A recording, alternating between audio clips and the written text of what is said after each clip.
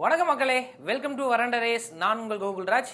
இன்னைக்கு நம்ம என்ன பார்க்க போறோம் அப்படின்னா ஆவரேஜ் டாபிக் உடைய பேசிக்ஸ் என்ன அப்படின்றத பத்தி பார்க்க போறோம். பார்ட் ஒன் ஸோ ஆவரேஜ் அப்படின்றது என்ன? அதனுடைய பேசிக் டைப்ஸ் ஆஃப் சம்ம பார்க்க போறோம். ஸோ அடுத்த வீடியோவில் வந்து பார்த்தீங்க அப்படின்னா ஆவரேஜ் பார்ட் டூ அதில் இருக்கக்கூடிய இன்னும் வேறு சில டாபிக்ஸ் வந்து டைப்ஸ் ஆஃப் சம்ஸ் வந்து நம்ம பார்க்க போறோம். இந்த மெட்டீரியல் உங்களுக்கு கீழே கொடுத்துருக்கூடிய டிஸ்கிரிப்ஷனில் ஒரு லிங்க் இருக்கும். அந்த லிங்கை ப்ரெஸ் பண்ணி அப்படியே கீழே ஸ்க்ரோல் டவுன் பண்ணீங்க அப்படின்னா உங்களுக்கு கெட் ஃப்ரீ பிடிஎஃப் மெட்டீரியல் அப்படின்னு சொல்லிட்டு இருக்கும். அதை ப்ரெஸ் பண்ணும்போது உங்களுக்கு பேங்கிங்கா எஸ்எஸ்சியா ரயில்வேஸான்னு சொல்லி கேட்கும். அதில் பேங்கிங்குள்ளே போனீங்க அப்படின்னா உங்களுக்கு எல்ஐசி ஏடிஓன்னு சொல்லி தனியாக ஒரு ஃபோல்டர் இருக்கும். அந்த ஃபோல்டரில் உங்களுக்கு இந்த மெட்டீரியல்ஸ் எல்லாமே போட்டிருப்பாங்க. நம்ம வரண்ட ரேஸில் நீங்கள் ஜாயின் பண்ணணும் அப்படின்னு நினச்சிங்க அப்படின்னா ஸோ கீழே என்கொயரி அப்படின்னு சொல்லிட்டு ஒரு லிங்க் கொடுத்துருப்பாங்க. அந்த லிங்கை ப்ரெஸ் பண்ணி உங்களுடைய ஃபார்ம் ஃபில் பண்ணிங்கன்னா நம்ம டீம் உங்களை காண்டாக்ட் பண்ணுவாங்க. ஸோ ஆன்லைன் கிளாஸஸில் நான் நரேசர் பிரியா மேம் தான் உங்களுக்கு ஆன்லைன் கிளாஸஸ் ஹேண்டில் பண்ணுவோம். ரைட் ஓகே இப்போ ஆவரேஜ் அப்படின்றது என்ன? இதில் என்னென்ன டைப்ஸ் இருக்குது அப்படின்றத பற்றி பார்ப்போம். ரைட் இப்போ ஆவரேஜுக்கு பேசிக்கான ஃபார்முலா என்ன சார் அப்படின்னா average equal to total sum of all items and total number of terms அப்படின்னு சொல்லி சொல்லுவோம். அதாவது இப்போ ஒரு நாலு நம்பர் கொடுத்துருக்காங்க. ஃபைவு டென்னு ஃபிஃப்டீனு டுவெண்ட்டி அப்படின்னு சொல்லிட்டு கொடுத்துருக்காங்க அப்படின்னா இந்த நம்பர் எல்லாத்துக்கும் நம்ம என்ன பண்ணுறோம் அப்படின்னா ஆட் பண்ணுறோம் சம் பண்ணுறோம் இது எல்லாத்தையும் சம் ஆஃப் ஆல் டேர்ம்ஸ் எல்லாத்தையும் ஆட் பண்ணுறேன் மொத்தம் எத்தனை நம்பர் இருக்கோ அதை வச்சு நம்ம டிவைட் பண்ணுறோம் மொத்தம் நம்மளுக்கு நாலு நம்பர் இருக்கு. அந்த ஃபோரால் நம்ம டிவைட் பண்ணுறோம் அதுதான் sum of all terms divide by number of terms total number of terms அப்படின்னு சொல்லி சொல்கிறாங்க ரைட் இதில் என்னென்ன ட்ரிக்ஸ் இருக்கு? இதில் நம்ம எப்படி போடலாம்? இன்னும் ஃபாஸ்ட்டாக எப்படி போடலாம் அப்படின்றத பற்றி பார்க்கலாம். இப்போ நமக்கு average of consecutive odd even நம்பர்ஸ்னு சொல்லி கொஷின்ஸ் வரும். அங்கே நம்ம எப்படி எடுக்கணும் அப்படின்னு சொல்லி பார்த்து பார்க்கலாம். கன்சிகூட்டிவ் ஆட் ஈவன் நம்பர்ஸ்னா என்ன சார் அப்படின்னா தொடர்ச்சியாக வரக்கூடிய எண்கள். ரெண்டு நாலு ஆறு எட்டு இப்படி வரக்கூடிய எண்கள். அப்போ ஃபர்ஸ்ட் நம்பரை நான் என்ன எடுத்துக்கிறேன்? எக்ஸ்னு எடுத்துக்கிறேன். செகண்ட் நம்பரை இந்த எக்ஸை விட ரெண்டு அதிகமாக இருக்கும். த- அடுத்த தேர்ட் நம்பர் எக்ஸை விட நாலு அதிகமாக இருக்கும். இதே மாதிரி தான் நம்மளுக்கு ஆட் நம்பர்ஸ்க்கும் இப்போ ஆட் நம்பர்ஸ் எடுத்துக்கும் போது த்ரீ ஃபைவ் செவன் நைன் இப்படி எடுத்துக்கிறீங்கன்னு வச்சுக்கோங்களேன். முதல் நம்பர் நம்மளுக்கு எக்ஸு இந்த எக்ஸை விட எவ்வளோ அதிகம்? நம்மளுக்கு ரெண்டு தான் அதிகம். அடுத்தது நாலு அதிகம். அடுத்தது ஆறு அதிகம். ஸோ ஆட் நம்பராக இருந்தாலும் சரி ஈவன் நம்பராக இருந்தாலும் சரி கன்சிகட்டிவ் நம்பர்ஸாக இருக்கும்போது நம்மளுக்கு x x plus two x plus four x plus six இப்படி தான் போகும்.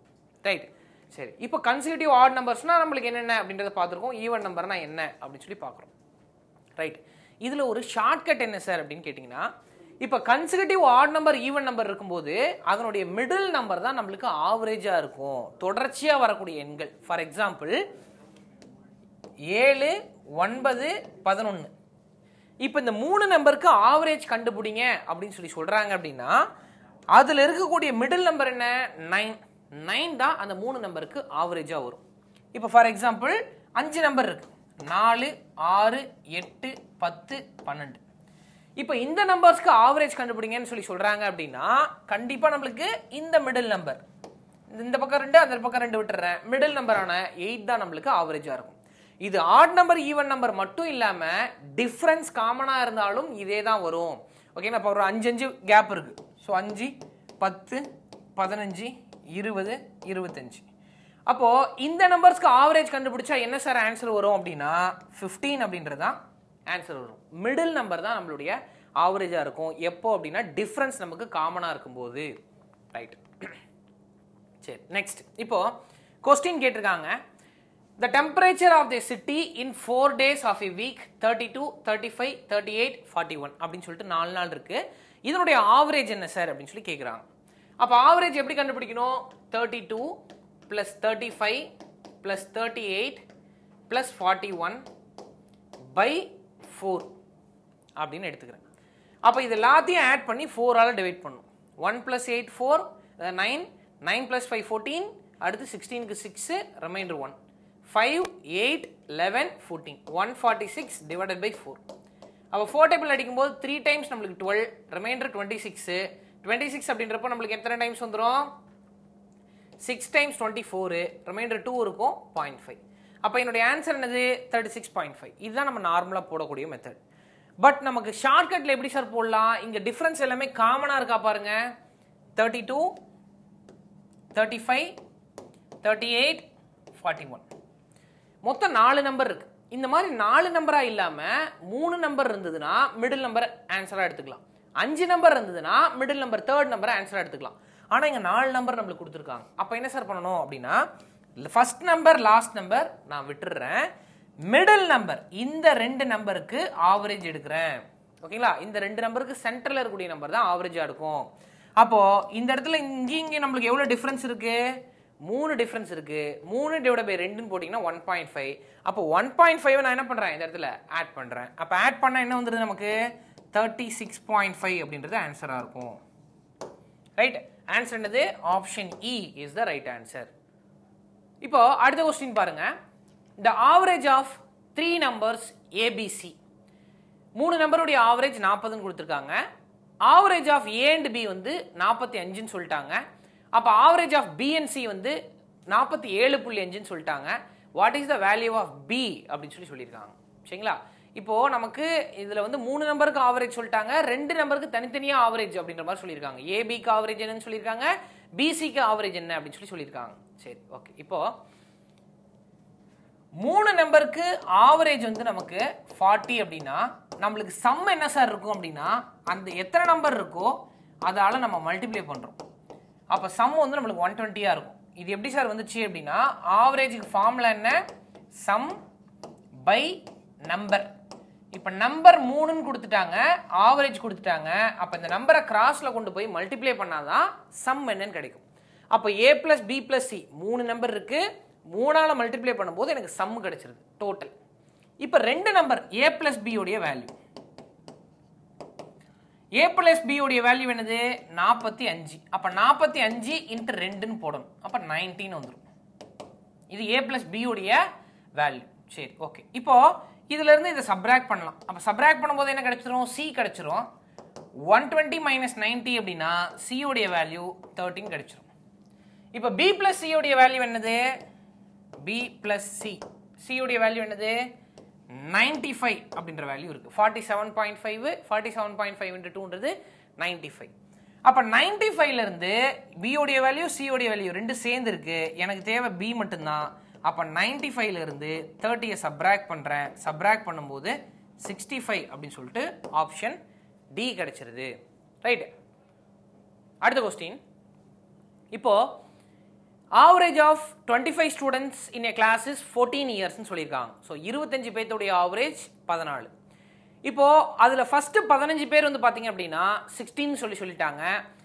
ரிமைனிங் இருக்கக்கூடிய பத்து பேர்த்துடைய ஆவரேஜ் என்னவா இருக்கும் அப்படின்னு கேட்குறாங்க ரைட்டு அப்போ இருபத்தி அஞ்சு பேர்த்துடைய ஆவரேஜ் வந்து பதினாலு முதல் பதினஞ்சு பேர்த்தோடைய ஆவரேஜ் வந்து பதினாறு ரிமைனிங் இருக்கக்கூடிய பத்து பேர்த்துடைய ஆவரேஜ் என்ன? இதுதான் நம்மளுடைய கொஸ்டின் ரைட் சரி இது எப்படி போடலாம் நம்ம?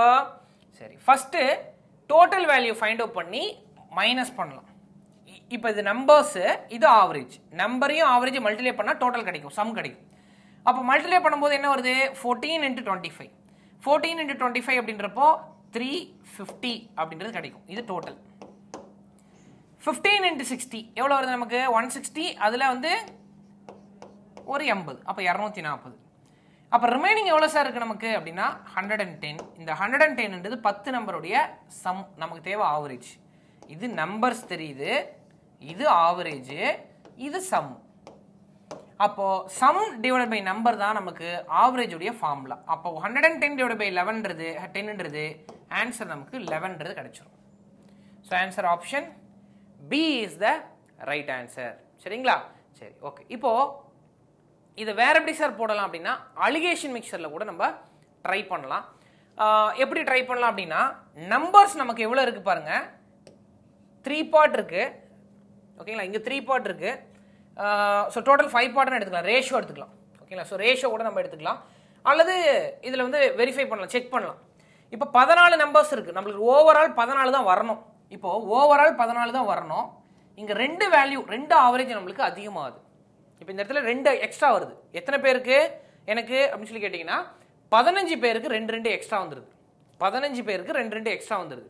அப்போது ஆல்ரெடி அங்கே இருக்கக்கூடிய வேல்யூ ரெடியூஸ் ஆயிருக்கும். குறைஞ்சு போயிருக்கும். ரைட்டா அப்போ பதினஞ்சு பேருக்கு ரெண்டு ரெண்டு எக்ஸ்ட்ரா வந்துச்சுன்னா ஸோ முப்பதுன்ற நம்பர் எனக்கு என்ன ஆயிடுது?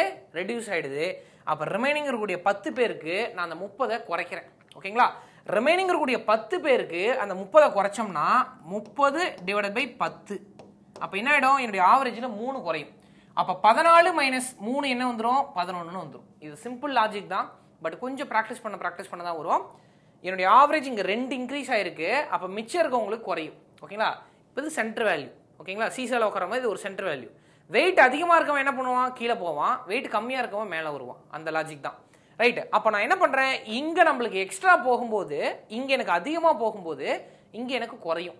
ரைட்டு ஆவரேஜ் ஓவரால் வேல் வேல்யூ வந்து எனக்கு ஃபோர்டீன் தான் இருக்கணும். ஆனால் இங்கே சிக்ஸ்டீன் ஆகுது. அப்போ இங்கே இன்க்ரீஸ் ஆகுது. அப்போ கண்டிப்பாக ரிமைனிங் இருக்கக்கூடிய வேல்யூ டிக்ரீஸ் ஆகும்.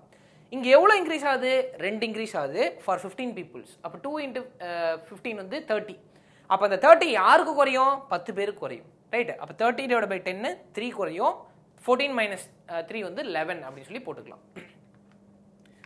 Next one the average of seventeen results is fifty okay பதினேழு ரிசல்ட்டோடைய வேல்யூ என்ன அப்படின்னா fifty the average of first nine result is seventy அதில் மொதல் ஒன்பது ரிசல்ட் வந்து எழுபது கடைசி நைன் வந்து பார்த்தீங்க அப்படின்னா uh, முப்பது. அப்போது நைன்த் ரிசல்ட் என்ன அப்படின்னு கேட்குறாங்க இப்போ ஃபர்ஸ்ட் நைன் செகண்ட் நைன் அப்படின்னு சொல்லி சொல்லும்போது எனக்கு அந்த நைன்ன்றதை மட்டும் ரெண்டு டைம் ரிப்பீட் ஆயிருக்கும் இப்போ one two three four five six seven eight nine ten eleven twelve thirteen fourteen fifteen sixteen seventeen இதில் ஃபர்ஸ்ட் நைன் என்ன அர்த்தம்?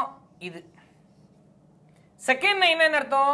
One two three four five six seven eight nine இது.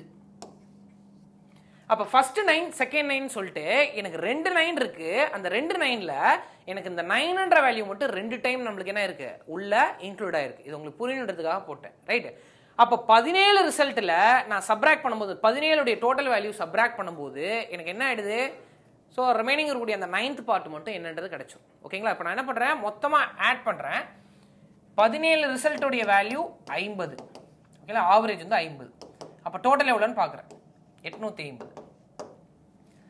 ஃபஸ்ட்டு நைன் ரிசல்ட்டுடைய வேல்யூ எழுபது. எவ்வளவு? ஆறுநூற்றி முப்பது. அடுத்த nine வேல்யூவோட இது வந்து தேர்ட்டி முப்பது. இரநூத்தி எழுபது.